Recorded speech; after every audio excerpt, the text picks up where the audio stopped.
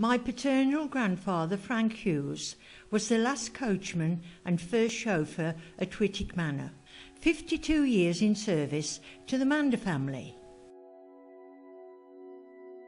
Frank wanted to follow in his father's footsteps and at the age of 14 began his career as a coachman. Mrs. Flora Mander saw his advertisement and wrote her first letter to him offering him the job of coachman. Mrs. Mander offered Frank 21 shillings per week, good house and garden.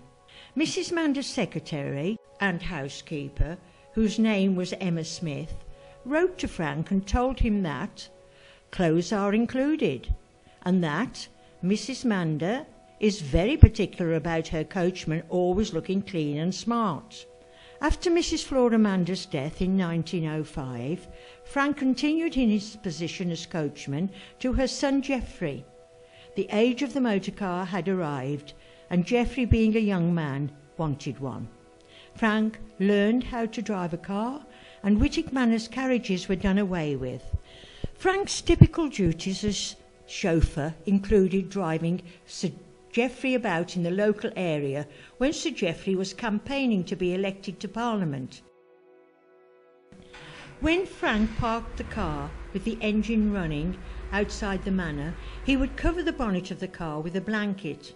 Anthea Mander, Sir Geoffrey's daughter, told me that the Mander family thought this was very amusing, greatly enjoying the spectacle of the car being treated like a horse. My Uncle Albert explained to me that the blanket would be keeping the engine of the car warm, preventing it from stalling.